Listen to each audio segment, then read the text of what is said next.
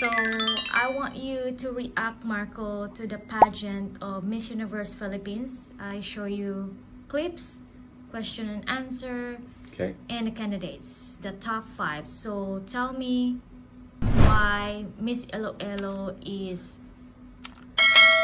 the winner. Okay. So after looking at the top five uh, contestants, the number ones, um, for me, the decision where they selected Miss Iloilo um, was valid because she had uh, some unique qualities, traits, and characteristics. So for beginners, it was her eyes. They they were sort of um, a more of an exotic, uh, deep look in her eyes. Uh, could be from her heritage, her family mix, you know, our genes are what make us. So that was a distinguishing feature. She did have high cheekbones. Again, this is another thing that beauty pageants and models and modeling agencies look for. Uh, she also had a, a good figure, right? So it's kind of the hourglass figure back to magazines and, and beauty pageants and modeling, right? So she had all of these these features that made her uh, beautiful uh, to look at. And now there are a couple of the other girls again. They had good figures and they had great faces. And the number two one with the blue dress, uh, she had uh, very high cheekbones, uh, a nice wide face. So it was obvious- tall. tall, slender, uh, obviously very beautiful as well. But uh, then we come to the question and answer, right? The sort of like testing the intellect type thing. Yeah.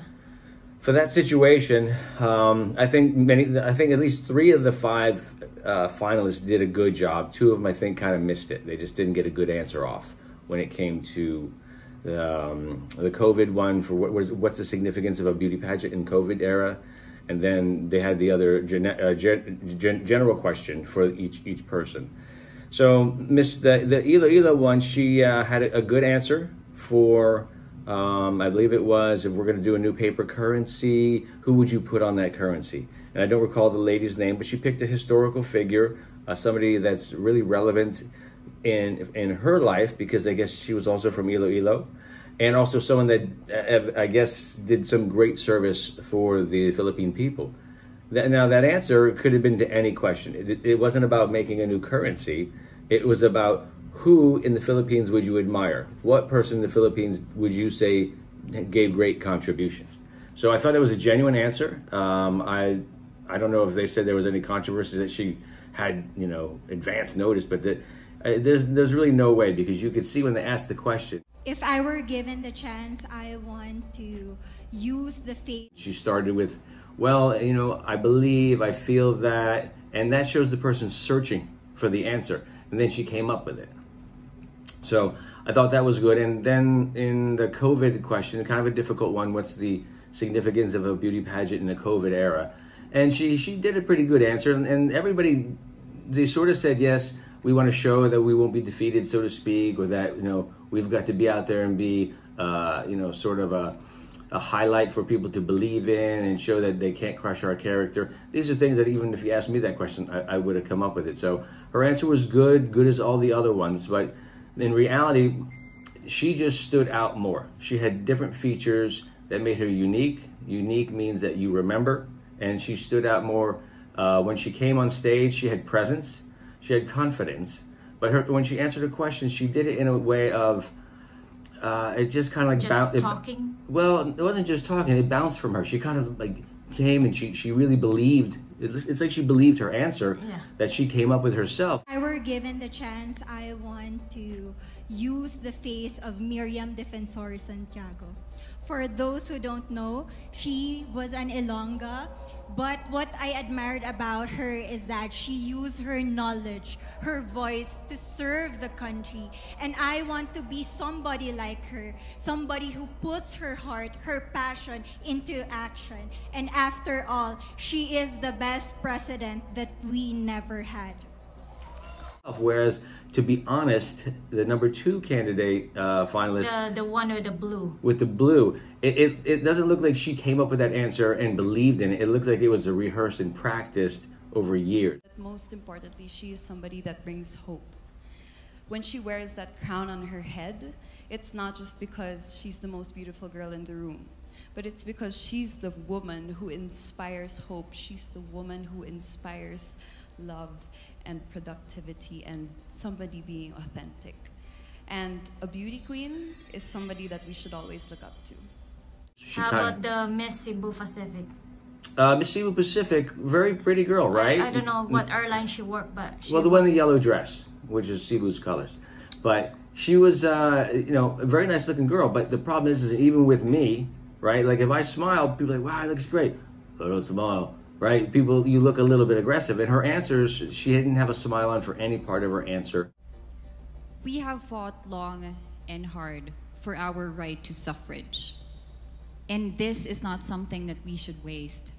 For us to be able to complain and be able to appreciate the things that we have as Filipino citizens, we have to vote. We have to participate in selecting our leaders. Thank you. Thank you very much.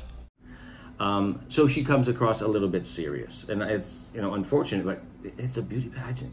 You kind of got to glitz it up a little bit. You got to add a little drama, a little flair, a little charisma, a little pizzazz. And the last girl that answered, the one with the blue dress, the Yes. top and the skirt, yeah, the way the, she answered, what do you think? Well, like I said, it looks like the answers were the ones that she coached, that, Yeah. that was coached to her, because each one of these girls have coaches. They don't just roll out of bed. And But I answer. was think it's not like from her heart when she talked. In my experience with the pandemic and being in one of the most prestigious pageants in the Philippines, I've realized that pageants are something that can give Filipinos hope and it's something that can give Filipinos something to look forward to. It's something that we as Filipinos, as a pageant loving nation, it's something that we're so proud of. It's something that gives us life.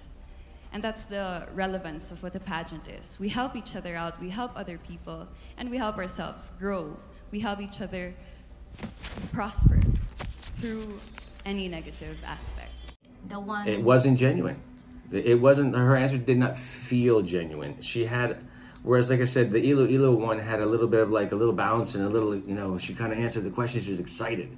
Yeah. Whereas when it went to that other one, she kind of answered it and looked left and looked right, and she had just kind of this appearance of being like the conceited girl at school, like the prettiest girl at school that would kind of like the Bohol, uh, you know. she was nice, but uh, she was she was beautiful and not necessarily a pageant Yeah. like person. You know, you, you have to have this certain drive that it's okay to stand out. Something authentic and Yeah. more exotic. Yeah, face. she she and she could have won. I think pageants are now an amazing platform to show that not our not all our dreams are are canceled. They're just put on hold. And for us, we're lucky that we're still able to make this one dream come true, to stand here, to spread hope, to rally people together in action and conversation and spark change. And together, I'm sure we can make a positive impact out there on this stage. That is the essence of beauty pageants in the time of the pandemic. As could have number two. They Yeah. all all the top five, right? Yeah. But as to why the Miss Iloilo uh, did it, uh, why she got picked, I believe it's because of all of those characters. She had the the good face, the look, the eyes, um, all these things. Thank you, Marco, for that. Congratulations to all of them. Yes. Well, there's my review, guys. I hope you liked it. Uh, they were all beautiful. Congratulations to the Philippines and to Miss Philippines. Don't forget to like, subscribe, and share, and come back and see some more. Thanks for thanks for coming by. Bye bye, tchau, tchau.